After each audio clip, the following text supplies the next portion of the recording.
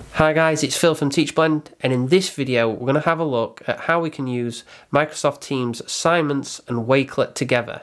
Now this is a fantastic update which essentially allows you to assign a Wakelet inside of Teams as an assignment so that students do not need to leave the assignment interface. Now this can be used for multiple purposes as Wakelet allows you to create collections of resources, links and videos. You can create collections about the topic and then get students to complete an assignment while using this as reference material. You could also share lesson plans with students what you've created in Wakelet for students to refer back to. So I do hope you find this video useful and if you do, please remember to like and subscribe to TeachBlend, it really does help. Thank you.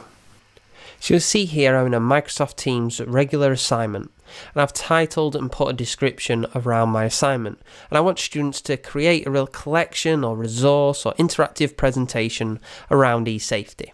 But what I can do now is I can choose apps and I can actually attach a supplementary resource or activity, in this case Wakelet. Now, Wakelet allows us to create beautiful collections of information and resources. So what I'm going to actually do is create one for learners, and you'll see here that I've created one so that I can get them to use this as reference. What I then do is choose share and just make sure this says either public or unlisted so that students can access it. Again, this collection is one I have created that I'm going to use as reference material.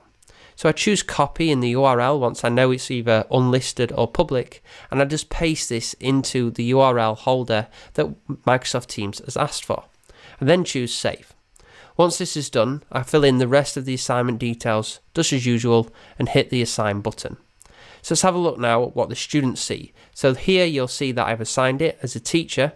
So the students then will actually go onto their account.